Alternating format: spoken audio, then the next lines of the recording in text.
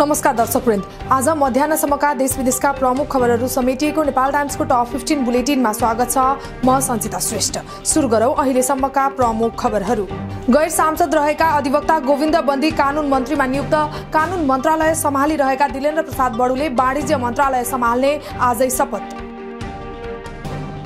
सत्ता गठबन्धनको निर्वाचन परिचालन तथा अनुगमन समितिको बैठकले देशभरको अवस्थाबारे रिपोर्टिङ गर्ने समय थपियो। आगामी छब्बिस चैत्रभित्र प्रतिवेदन पठाइसक्न प्रदेश संयन्त्रलाई निर्देशन।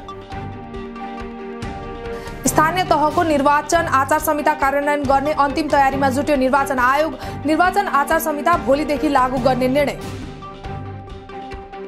निलम्बित प्रधान न्यायाधीश चोलेन्द्र शमशेर जवरा सहित पाँच न्यायाधीशलाई पदक दिने सरकारको निर्णय संविधान दिवसका दिन घोषणा गरिएको पदक आगामी वैशाख संक्रान्तिको अवसरमा वितरण गरिने।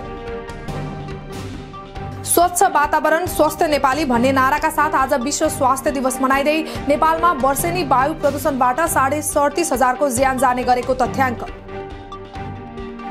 दक्षिण पूर्वी एसियामा पहिलो पटक नेपालमा आजदेखि टाइफाइड विरुद्धको राष्ट्रिय खोप अभियान सुरु।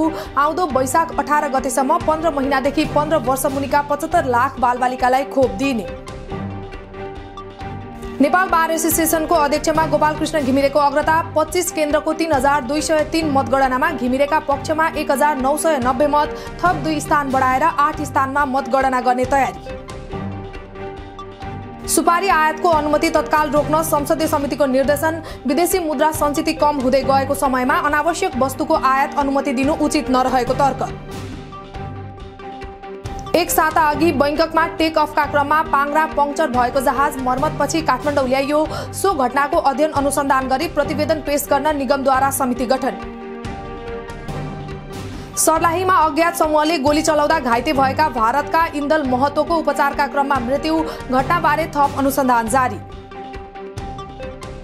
आज सुनको भाउ तोलामा पाँच सय रुपियाँले बढेर उनासय हजार रुपियाँ पुग्यो। चाँदीको भाउ पनि तोलामा दस रुपियाँले बढेर तेह्र सय पैँतालिस रुपियाँमा कारोबार। आइपिएल क्रिकेटमा मुम्बई इन्डियन्सलाई पाँच विकेटले हराउँदै कोलकाता नाइट राइडर्स शीर्ष स्थानमा उक्लियो मुम्बईले दिएको एक सय बैसठी रनको लक्ष्य कोलकाताले सोह्र ओभरमा पाँच विकेट गुमाएर भेटायो च्याम्पियन्स लिगको क्वार्टर फाइनलको पहिलो लेगमा रियल म्याड्रिडद्वारा चेल्सी पराजित करिम बेन्जिमाको ह्याट्रिकमा रियलले साविक विजेता चेल्सीलाई उसकै मैदानमा तीन एक गोलले हरायो एक भारतीय महिलामा पहिलो पटक ओमिक्रोन एक्सई भेरिएन्टको संक्रमण पुष्टि। संक्रमित महिला फेब्रुअरी दसमा दक्षिण अफ्रिकाबाट मुम्बई आइपुगेको विवरण। र अमेरिकाद्वारा रुसी राष्ट्रपति पुटिनका छोरीहरूसहित रुसी विदेश मन्त्री सर्गेई लाभ्रोभको परिवारका सदस्यमाथि प्रतिबन्ध। रुसी बैङ्कहरूलाई अन्तर्राष्ट्रिय वित्तीय प्रणालीबाट पूर्ण रूपमा अलग्गै राख्नुपर्नेमा युक्रेनको जोड।